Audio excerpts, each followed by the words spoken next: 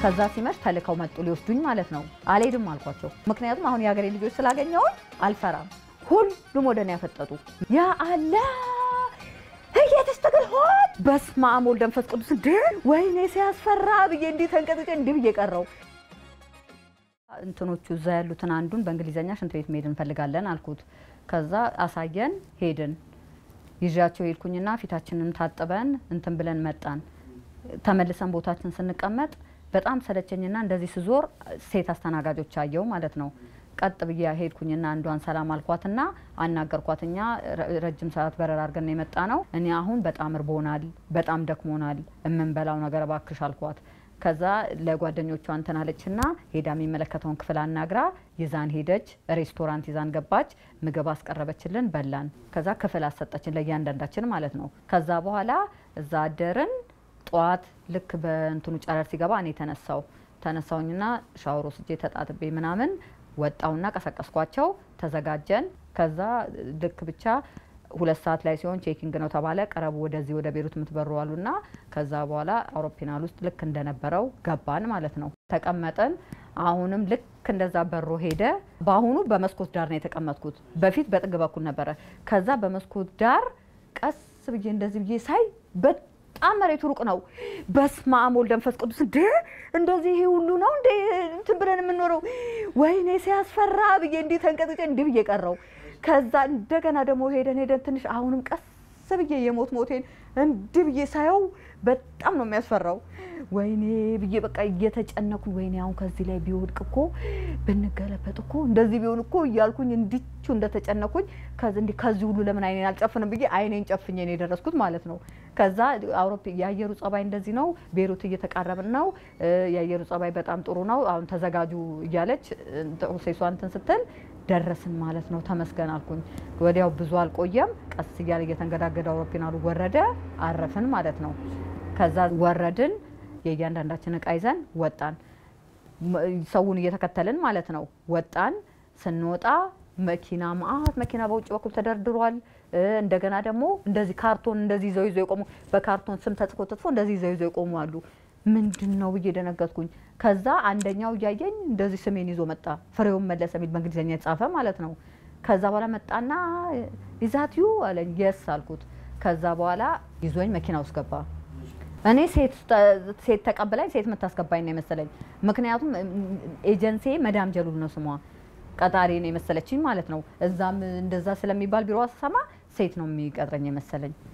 ግን ያው ስሜን ስለያዘው ምን ልበል ሁለት ሀሳብ ሆንኩኝ። እምቢ ልበል እምቢ አልበል ብዬ እምቢ ብዬ ደግሞ እዚህ ሰው ሀገር ብቀርስ ብዬ እንትን አልኩኝ። already ስሜን ስለያዘ የሆነ ነገር እንትን ብዬ ነው የገባሁት። ከዛ ልቤ ድው ድው እያለ ከኋላ ነው የተቀመጥኩት፣ እሱ እየነዳ ማለት ነው።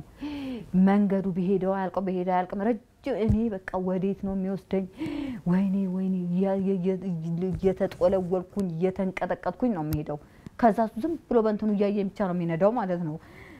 ልክ ብቻ በግምት ሁለት ሰዓት ይሆናል ከተጓዝን በኋላ ትልቅ ግቢ ውስጥ ገባ።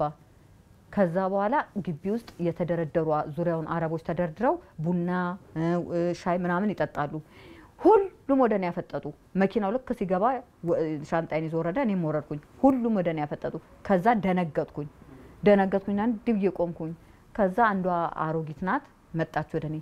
ያ አላ እየተስተገል ሆን አለችው።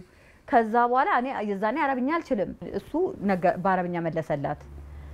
መጣችና ሀራም you come to work here አለችኝ። yes madam አልኳት። ከዛ why you are too young why you came here you came to work here አለችኝ። ከዛ በኋላ yes madam አልኳት። ከዛ በኋላ በቃ okay come on አለችኝና ይዛኝ ገባች። ይዛኝ kitchen ውስጥ ይዛኝ ገባች። በቤቱ አልፈን kitchen ውስጥ ይዛኝ ገባች። አራት የውጭ ዜጎች አሉ። ከዛ ሁለት ስሪላንካ፣ ሁለት ፊሊፒኖች ናቸው። እነሱ ራሳቸው እንደዚህ ያዩኝና እያሉ በድንጋጤ እንዴት ነው ድንግጥ ብሎ ሰው ሲያይ ሁሉም ደንግጠው አዩኝ። እኔ ደግሞ በዛ ላይ ወር ሙሉ ቪዛው እስኪመጣ ሀሳብ ክስት አድርጎኝ ቀጭጫለሁ ማለት ነው። በዛ ላይ ደግሞ እድሜ በጣም ትንሽ ነው። ፊሊፒኖቹ አዩኝና አስተዋወቀችኝ። ከዛ በኋላ በአረብኛ ነግራቸው ሄደች። እነሱ በእንግሊዝኛ እንዴት የዚህ ሀገር ስራ ቀላል መስሎች ነው ወይ የመጣሹ? በጣም ከባድ ስራ ነው አሉኝ። ከዛ ቁጭ ያሉኝና ምግብ አቀረቡና ልክ እንደ ፊልም እያዩኝ ክብ ሰርተው በቃ ተራ በተራ ተራ በተራ በጥያቄ አጣደፉኝ። ለምን አተማሪም ቤተሰቦች በጣም ደሃ ናቸው ወይ በዚህ እድሜሽ እንዴት ይልኩሻል ብለው በጣም ሁሉም እንትን አሉ። ከፊሊፒንና ከስሪላንካ የሚመጡት እንዳለ ወልደው ልጆቻቸው ለማሳደግ እናቶች ናቸው እንዳለ። እንደገና ደግሞ እያንዳንዳቸው የተለያየ ሙያ ባለቤት ናቸው።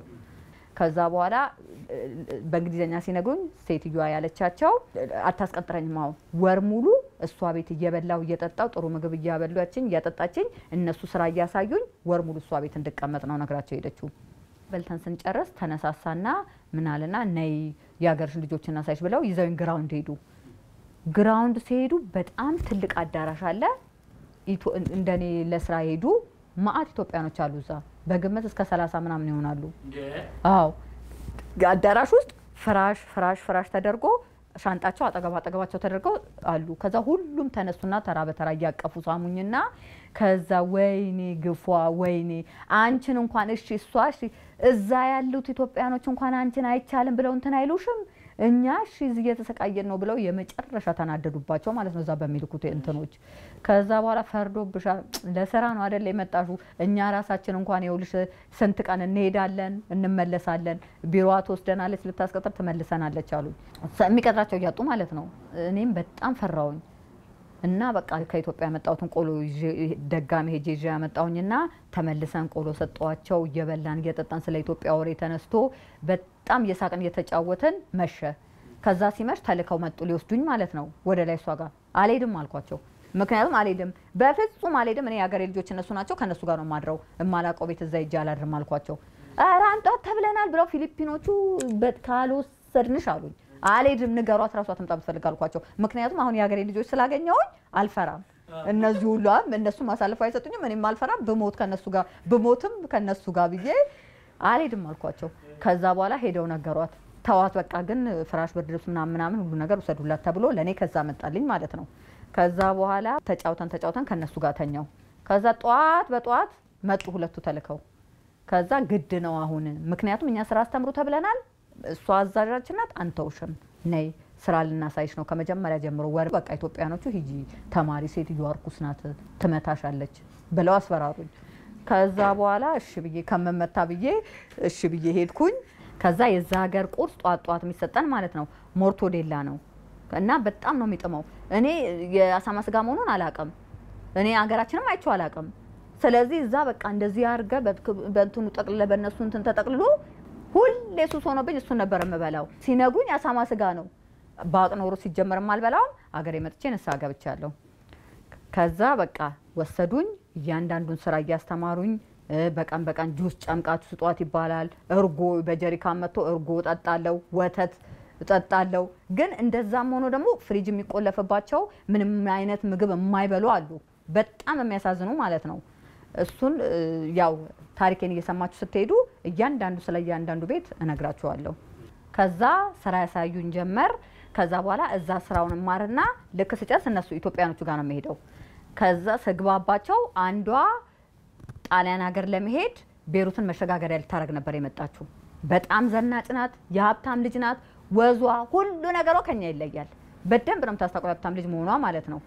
ከዛ በኋላ በጣም ታለቅሳለች። ወይኔ ዘመዶቼ፣ ወይኔ ቤተሰቦቼ ቀልጬ ቀረው፣ ወይ ጣሊያን ትላለች። በቃ ሁል ጊዜ ታለቅሳለች። ከዛ እያንዳንዳቸው በይ ዝም በይ አንቺ እናቴ ጥጋብ ነው ጥጋብ ነው ያመጣሽ፣ እኛ ግን ድህነት ነው ስደት ያመጣን። ሲጀመር አንቺ አገርሽ አርፈሽ ብትቀመጪ ምን አጣሽ? የእኛን እድል እዚህ መተሽ ከምትጋፊ እያሉ እያንዳንዳቸው እንትን ይሏታል። ከዛ በቃ እሷ ሁልጊዜ ሁሉም ደህና ወሬ እያወራ እየሳቀ የተጫወተ እየየዋን ታስነካው ሁሉንም ታስደቅሳለች። ከዛ በኋላ በቃ እያሉ እያሉ እየተቀነሱ እየተቀጠሩ እየተቀጠሩ እየተቀነሱ መጡ። ወር ሞላ። ምን ጣሊያን ትገባለች? እዛው ነው እንጂ የተቀጠረችው። እንዴ ማን ነው ጣሊያን የሚያስገባት? ታሾፋለህ እንዴ?